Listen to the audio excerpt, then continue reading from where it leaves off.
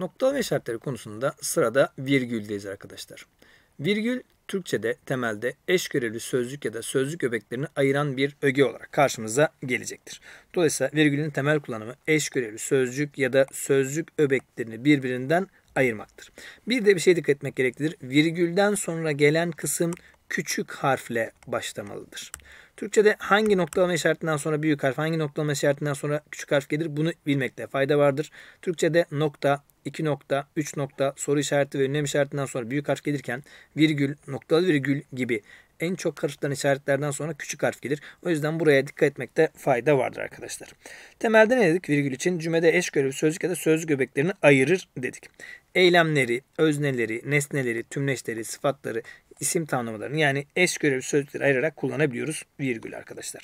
O kitabı aradım, buldum, okudum derken dikkat ederseniz aradım, buldum, okudum. 3 tane eylem, 3 tane yüklem, eş görevi sözcükler hatta sıralı cümleler eş görevi sözcükleri ayırmak için burada birer virgül kullanmışız. Fırat, Dicle önemli nehirlerimizdendir derken Fırat, Dicle cümlenin özneleri olarak kullanılmış. Özneleri ayırmak için virgülü kullanmışız.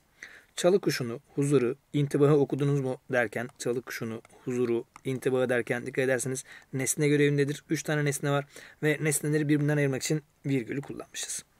Kitabı açtı, birkaç sayfa çevirdi, yüksek sesle okumaya başladı derken açtı, çevirdi, başladı. Üç tane cümle kullanmış dikkat ederseniz eş görev sözcük mantığına yani birinci örneğe bu da uyuyor. Sıralı cümleleri ayırmak için de biz burada virgülleri kullanabiliyoruz arkadaşlar. Yakında yine bahar gelecek. Ağaçlar çiçek açacak. Kediler damlara çıkacak derken bahar gelecek. Ağaçlar çiçek açacak. Kediler damlara çıkacak. Eş görev sözcükler ya da cümleler mantığına uyar. Burada 3 tane cümle vardır ve 3 cümle birbirinden virgülle ayrılmıştır. Virgül için ne demiştik? Temel kullanımda eş görev sözcükleri, sözcük öbeklerini yani eylemleri, nesneleri, özneleri, tümleşleri, sıfatları, isim tanımlarına ayırır. Verdiğimiz örneklerin hepsinde de temelde virgül bu görevde kullanılarak karşımıza getirilmişti. Bir başka kullanımına baktığımız zaman virgülde anlatıma güç katmak için yinelenen sözlerin arasında kullanılır. Görebiliyoruz. Akşam, yine akşam, yine akşam derken dikkat ederseniz burada iki virgül kullanılmış. Yalnız buradaki iki virgül eş görülü sözcükleri ayırmak için değil akşam, yine akşam, yine akşam derken tekrar eden sözcükleri ayırmak için iki tane virgülün ard arda kullanıldığını görebiliyoruz. Sıralı cümlelerden sonra virgül kullanılır demişiz. Atlar soluyor, terliyor, dört nala koşuyor derken soluyor, terliyor, dört nala koşuyordu. Üç tane cümle ve sıralı cümleleri ayırmak için de virgülü kullanmışız. Yüklemden uzak kalmış özneyi ortaya çıkarmak için virgül kullanır demişiz. Ahmet Haşim şiirde anlamın kapalı olmasına ve musikiye önem vermiş bir şairimizdir derken cümlenin asıl yükleminin şairimizdir olduğunu görebiliyoruz.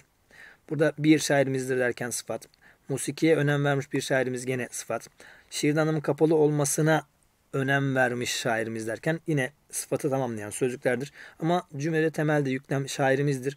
Yüklemle özne arasına dikkat ederseniz özne burada Ahmet Haşim başka sözcük ya da sözcük grupları girdiği için yüklemden uzak kalmış özneyi ortaya çıkartmak ve öznenin okuyucu tarafından unutulmamasını sağlamak için özneden sonra bir tane virgül atılır diyebiliyoruz arkadaşlar. Yalnızlık özgürlüğün iki ırçın kanadıdır cümlesine baktığımız zaman yalnızlık özgürlüğün iki ırçın kanadıdır derken bu yalnızlığın tanımı yapılmış. Kanadıdır cümlenin asıl yüklemi hırçın kanat sıfat tanımlaması, iki kanat sıfat tanımlaması, özgürlüğün kanadı derken aslında belirtili isim tanımlaması, sözcük gruplarında ayrılma olmaz demiştik cümlenin ögeleri konusu için. Dolayısıyla özgürlüğün iki için kanıdır cümlenin yüklemi, yalnızlık cümlenin öznesi, özne ile yüklemin arasında başka sözcük ya da sözcük grubu girdiği için özneyi daha belirgin hale getirmek amacıyla araya bir virgül atmışız diyebiliyoruz. Bunlar dikkat ederseniz virgülün temel kullanımı dışında karşımıza çıkan kullanımlar olacak. Virgülün diğer kullanımlarına devam ediyoruz arkadaşlar. Cümlede vurgulanmak istenen ögelerden sonra virgül kullanılır demişiz. Yarın buraya geleceksin ve bu işi çabucak bitireceksin cümlesinde yarın sözcüğü cümlede vurgulanmak istenen bir sözcüktür. Cümlede vurgulanmak istenen sözcük olduğu için de yarın sözcüğünden sonra bir tane virgül atılmıştır diyebiliyoruz. Ara söz ve ara cümlelerin başında ve sonunda virgül kullanılır demişiz. Sevgili yurdum Türkiye, şehitler diyarı bir cennettir derken dikkat ederseniz burada şehitler diyarı bir ara sözdür ve ara sözler iki virgül ya da iki kısa çizgiyle gösterilebilir. Ara söz ya da ara cümlelerin okunmasına gerek yoktur. Dolayısıyla sevgili yurdum Türkiye bir cennettir şeklinde cümleyi okuyabiliyoruz. Bu ekstra bir yargıdır ve ara söz ve ara cümleler temelde birer virgül ile ayrılır diyebiliyoruz. Ahmet, o çalışkan çocuk geldi derken dikkat ederseniz o çalışkan çocuk ara sözdür. Ara sözün başında ve sonunda birer virgül vardır. Şimdi efendiler müsaade buyurursanız size bir sual sorayım derken dikkat ederseniz müsaade buyurursanız bir ara cümledir. Ara cümlenin başında ve sonunda da birer virgül kullanılmıştır diyebiliyoruz arkadaşlar.